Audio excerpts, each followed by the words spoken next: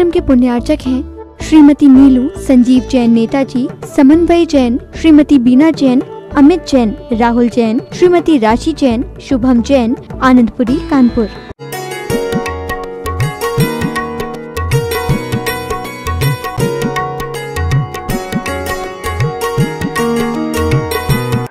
भैया, पिताजी तो है नहीं। मेरी तमन्ना थी कि मैं इंजीनियर बनूं। अभी कौन सी बड़ी बात है? हम हैं तुम्हारे पिता। तुम इंजीनियर बनना चाहते हो, हम तुम्हें पूरी इंजीनियरिंग कराएँगे। बिल्कुल डरो मत। जितना तुम्हें पढ़ना है तुम पढ़ो। कहीं से भी हम पैसा लाएँगे, मगर तुम्हें पढ़ाएँगे। खेती थी उनके पास। छोटा भाई पढ़ता गया, ट्वेल्थ पास करने के बाद बाहर चला गया पढ़ने के लिए। पढ़ता गया पढ़ता गया, भाई पैसा भेजता गया भेजता गया। भाई ने अपने खर्चे कम कर दिए। एक बार उस भाई को बहन ने सींग मार दिया। और बड़ा भाई अपने भाई को उस खून निकलते हुए जगह पर हाथ रखकर कंधे पर लिटा करके पाँच किलोमीटर दूर तक उसका इलाज कराने गया। इलाज करा के जब लाया, उसकी किडनी फेल हो गई। बड़े भाई ने अपनी किडनी निकलवा करके अपने भाई को किडनी दी और कहा, चिंता मत करो, सब अच्छा होगा। बहुत सेवाएँ की उसकी और एक दिन उसे इंजीनियर बनवा दिया। वो इंजीनियर बन गया। एक दिन उसने अपने भाई से कहा, भाई, मैं अपनी ही समाज की एक लड़की को लाइक करता हूँ। भाई ने कहा, देखो, धर्म के विरुद्ध नहीं होना चाहिए, समाज के विरुद्ध नहीं होना चाहिए, उसके माता पिता एग्री होना चाहिए, हमें एग्री होना चाहिए। और अगर हमारे कुल धर्म को अपनाने वाली है तो हमें कोई इतराज नहीं है भाई। तुम खुश रहो, बस तुम्हारी खुशी के लिए मैं सब कुछ करने को तैयार हूँ। भैया, वो अपनी ही समाज की है। अच्छा हाँ उसके माता पिता से आप बात कर ले। ठीक है। और भाई ने जैसे तैसे उससे बात की, और मामला सुलझ गया और वो पानी ग्रहण भी हो गया। भाई को एक बहुत अच्छी नौकरी मिल गई। इंजीनियर हो गया। और भैया अभी तक पैसा, बड़ा भैया पैसा भेजता जा रहा था। इतना प्यार से भैया को रखता था कि भैया को अगर एक छींक आ जाए तो सारे कार छोड़ करके भाई, छोटे भाई की सेवा में चला जाता था। और छोटा भाई भी बड़े भैया की बहुत विनय करता था। बहुत आदर और सम्मान से उन्हें देखता था। प्रतिदिन जब भी उनके पास आता, चरण छूता था। चरण छू करके प्रणाम करता था। भैया के पैर दबाता था। सब कुछ करता था। जब शादी हो गई तो उसने एक फ्लैट खरीद लिया। फ्लैट खरीद लिया। और भैया को खबर भेजी कि भैया, कुछ पैसे की आवश्यकता है, आप भेज दीजिए। भैया ने कहा हाँ हाँ ठीक है, कितना चाहिए? जितना उसने मांगा, भाई ने उतना दिया। उतना दिया कि हाँ लो ले जाओ। तुम खुश रहो, बस तुम्हारी खुशी मेरी खुशी। तुम्हारे जीवन का आनंद मेरा आनंद। चिंता मत करो भाई, जो भी तुम्हें चाहिए हम हैं। जब तक मेरे शरीर में एक खून का कतरा होगा, तब तक मैं तुम्हारे लिए खड़ा रहूँगा। छोटा भाई भी कहता है, भैया, जो आप कह रहे हैं उसी में भी, मैं भी यही भाव है। अपन दोनों एक दूसरे के प्रति ऐसे ही विनयशील बने रहेंगे। जीवन के अंत तक हम ऐसे ही ज़िंदगी जिएँगे। मगर एक दिन छोटे भाई की पत्नी कहती है, क्या तुम भैया भैया लगाए रहते हो? अपना भी देखो। हमारे भाई के लिए भी एक फ्लैट खरीदना है। देखना आग लगाने वाली स्त्री का काम होता है आग लगाना। क्योंकि वो कहती हम पराए घर के हमें लेना देना क्या है तेरे घर से? और उसने अपने पति से कहा कि अपने बाजू में जो फ्लैट बिक रहा है, वो मेरे भाई के लिए ले लो। उसकी जॉब भी यहीं लग रही है। उसकी भी शादी हो चुकी है। पास में रहेंगे, बहुत अच्छा रहेगा। हाँ। ठीक है। मैं भैया को खबर भेजता हूँ कि जो पिताजी ने खेत हमें दिया था, उस खेत को आधा आधा कर लो और आधा जो हमारे हिस्से का उसे बेच करके उसके पैसे मेरे पास भेज दो।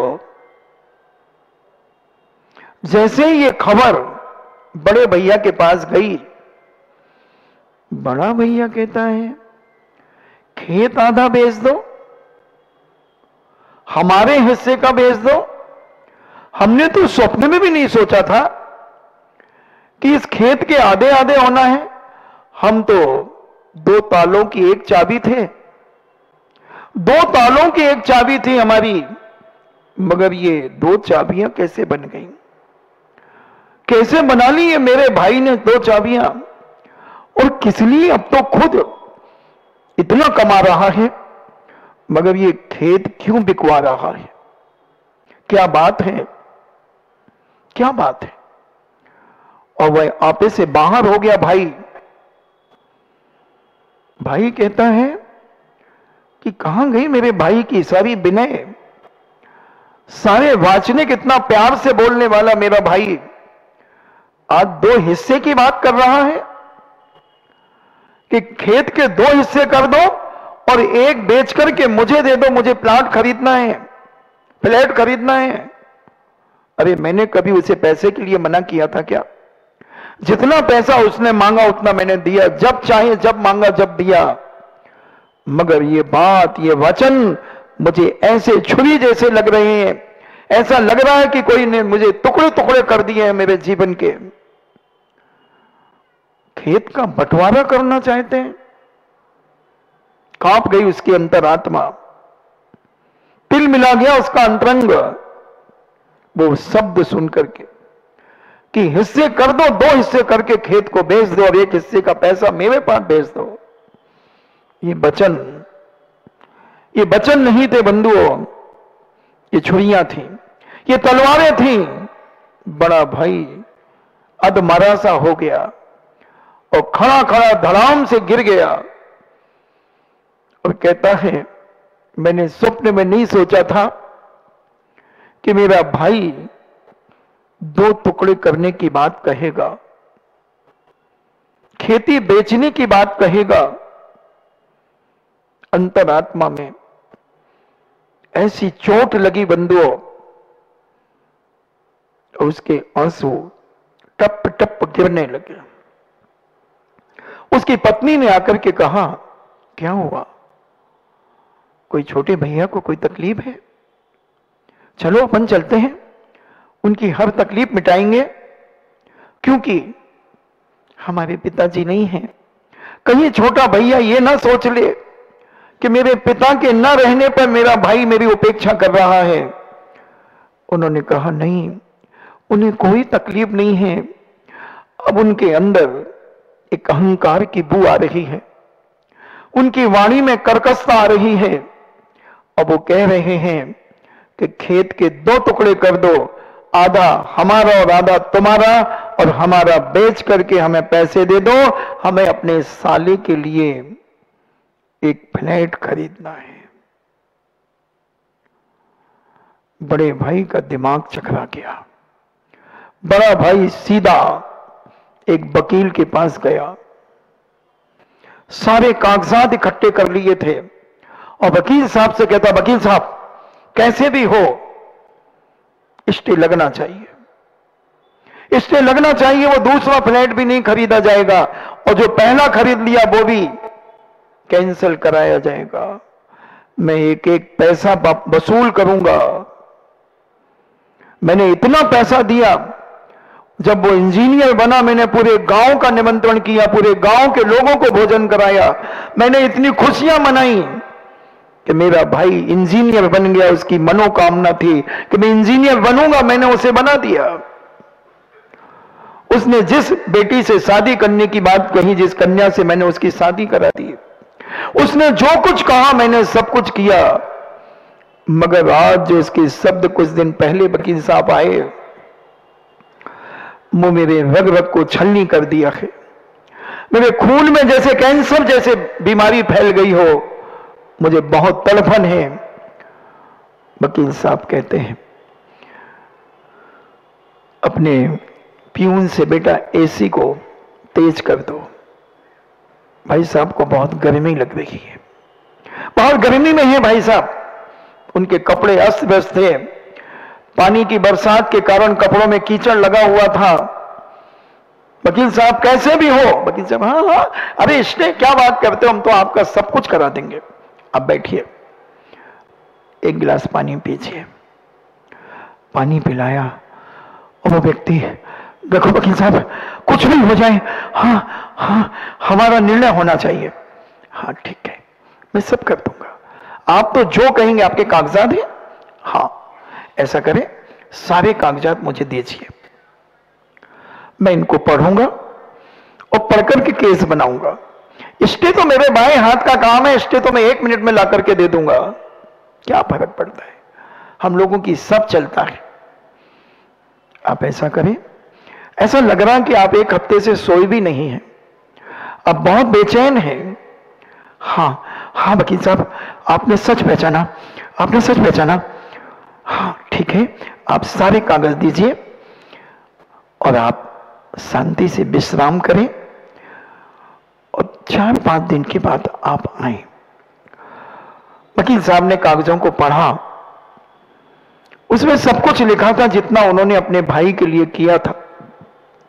जो प्यार लुटाया था भाई के लिए, जो इलाज कराया था, बैल के सींग का इलाज कराया था, खून से लथपथ स्वयं हो गया था, पाँच किलोमीटर कंधे पर लेकर के गया था।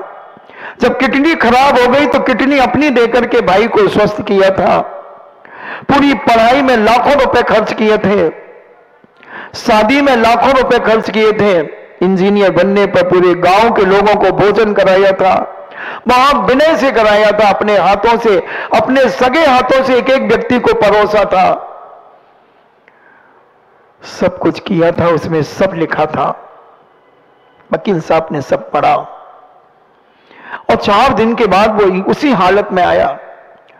वकील साहब ने कहा, बैठो। आपका बेटा है? हाँ। हाँ मेरा एक बेटा है। ठीक है। वकील साहब, क्या स्टे लगवाने से आपकी पाँच किलोमीटर की यात्रा का बदला चुक जाएगा? खून से लथपथ कपड़े के दाग क्या मिट जाएँगे? अपनी पेट की किडनी अपने भाई को दी है तुमने, क्या वो किडनी वापिस आ जाएगी? अगर तुम स्टे लगा देते हो तो क्या किडनी वापिस आ जाएगी? क्या तुम उससे नफरत करने लगोगे? तो क्या तुम्हें खेत मिल जाएगा? और वकील साहब ने इतनी मीठी वाणी में समझाया, कहा कि तुमने अपना एक कर्तव्य किया है। अगर वो कर्तव्य से पतित हो गए हैं तो क्या तुम भी अपने कर्तव्य से पतित होकर उनके जीवन का विनाश करना चाहते हो? वो अगर गलत हो गए हैं तो आप गलत क्यों हो रहे हैं? आपने जीवन में इतना उपकार किया है उनके क्या स्टे लाने से सारे उपकार का बेनिफिट तुम्हारे पास आ जाएगा। अरे भाई, जितना दिमाग आप उसमें लगा रहे हैं, काश अपने बेटे की पढ़ाई में लगा दें तो तुम्हारा बेटा जो बनना चाहता है वो बन जाएगा। उसकी खुशियाँ मनाओगे। प्रेम वात्सल्य बांटो। उन्होंने जो किया है उसका फल उन्हें मिलेगा। और जो तुमने किया उसका फल तुम्हें मिलेगा। तुम चिंता मत करो। करने दो। कितनी बेईमानी करेगा भाई। और भाई के द्वारा भाई अगर बेईमानी करता है तो एक ना एक दिन कहीं से निकल जाता है। फलता नहीं है बंधु। मैंने बहुत सारे केस देखे। बहुत स्थिति बिगड़ जाती है। इसलिए चिंता मत करो। तुम अच्छा परिणाम करो। भाव ना भाव कि उनके जीवन में सुख, शांति, समृद्धि, प्रेम, वात्सल्य आत्मी भाव बढ़ता चला जाए और तुम्हारे परिवार में भी यही होता चला जाए, मेरी सद्भावना है, आप जाए और मैं इस केस को आगे बढ़ाऊँगा। वैसे तो मेरा भाव है कि इस केस को समाप्त कर दिया जाए। फ्री कर दिया जाए। अपने अंदर उनके प्रति घृणा भाव न रखा जाए, उनके प्रति प्रेम वात्सल्य रखा जाए, आत्मी भाव रखा जाए, अपनत्व रखा जाए, वो जैसा भी रखें रखें, मगर आप अपना मन खराब न करें। आप अपनी वाणी में कर्कशता न लाए, कठोरता न लाए, विनम्रता रखें सब कुछ ठीक होगा सब कुछ ठीक होगा। वकील साहब ने समझा दिया, व्यक्ति चला गया। और अपने बेटे से कहता है, बेटा, अब चाचू जो कर रहे हैं, तुम्हारे उन्हें करने दीजिए। तुम बहुत अच्छा पढ़ो बेटा। तुम अच्छा करो। और बेटा पढ़ता गया। दो साल के अंदर बेटा डॉक्टर बन गया। और दो साल के बाद वही व्यक्ति एक मिठाई का डब्बा लेकर के वकील साहब के पास गए। वकील साहब को लगा कि बड़ा कुछ और कुछ ना हो जाए। पहले तो उन्हें यह लगा कि मैंने समझा दिया, कहीं सुसाइड ना कर ले। कि मैं तो केस करने गया तो वकील साहब ने उल्टा मुझे समझा दिया। मगर दो साल बाद जब वो व्यक्ति पुनः पहुँचा, चेहरे पे बड़ी प्रसन्नता थी, वाणी में मधुरता थी, बहुत आत्मीय भाव था। और वकील साहब से हाथ मिलाकर के बहुत विनय से नमस्ते किया। और कहा कि वकील साहब, मेरा बेटा डॉक्टर बन गया है और उसकी खुशी में आप उसके अधिकारी हैं, मैं आपका मुँह मीठा करने आया हूँ। काश आप अगर ये प्यार भरी बातें, ये विनय से भरा हुए वाणी मुझे नहीं संबोधन करते तो क्या पता अगर आप उस केस नहीं करते, मैं दूसरे वकील से जाकर के केस करवा देता, अब उसको रोड पर ला करके खड़ा कर देता। मगर आपकी वाणी में इतनी नम्रता थी, आपकी वाणी में इतना प्यार था, इतना अपनत्व था उपकारी का उपकार करने का भाव था, और हमने आपकी बात को स्वीकार किया, उस और मेरा बेटा आज डॉक्टर बना है, इस मिठाई के अधिकारी तुम हो। बंधु, वाणी का ही खेल है। हम अपनी वाणी को अगर बहुत अच्छे ढंग से रखते हैं, सास बहुओं के झगड़े खत्म हो जाएँगे, तलाक खत्म हो जाएँगे, परिवार में अशांति खत्म हो जाएगी। अगर थोड़ी सी वाणी में हम नम्रता लेकर के आ जाएँ और थोड़ा सुनने की आदत डाल लें, कठोर वचनों को सुनने की आदत डाल लें तो सब कुछ हो जाएगा। पिता पुत्र डाइनिंग टेबल पर बैठ करके भोजन कर रहे थे। और बेटे की बहू के यहाँ से पाँच किलो शुद्ध अटपैरा घी आया था। वैसे ही शांति धारा का घी चौबीस सौ रुपए किलो, पच्चीस सौ रुपए किलो है। और वो घी आया था। उनके घर में घी गाय थी। यानी मायके से घी आया। और उस घी को गर्म करके, छान करके, देखो तुम लोग शायद, मुझे नहीं लगता कि आप लोग घी बाज़ार से लाते हैं, उसको गर्म करते हो, फिर उसको छानते हो, फिर छान करके फिर अपने उपयोग में लेते हो, शायद। मुझे तो नहीं लगता।